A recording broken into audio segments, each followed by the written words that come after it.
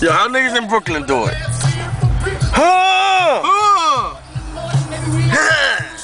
How niggas from Queens do it?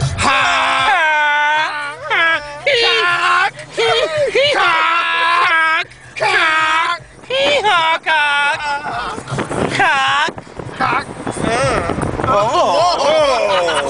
Oh, so yo, I think I think you got a case of the roomies. oh shit, got the roomies. Oh, oh, oh, roomies, roomies, roomies, roomies.